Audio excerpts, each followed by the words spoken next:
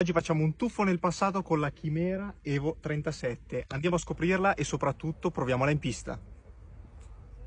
Non è un miraggio ragazzi, lei è la Chimera Evo 37 e oggi sto vivendo un sogno, sarò il primo creator italiano a poterla provare in pista. Trattandosi di Restomod costruito sul telaio della Lancia Beta Monte Carlo, è registrata come vettura storica e può permettersi di mantenere inalterate le sensazioni che era in grado di trasmettere la vettura originale del Mondiale Rally. Dimenticatevi l'elettrico, dimenticatevi gli scarichi tappati, dimenticatevi l'elettronica superflua dei giorni nostri. Qui si sente l'odore di benzina quando si entra nell'abitacolo spettacolo, si sente il fischio del compressore volumetrico, si sente il soffio dell'aspirazione proprio dietro alle orecchie. Per accenderla si deve prima dare corrente con un tasto, poi si devono azionare le pompe con un altro e poi finalmente con l'adrenalina 1000 succede questo.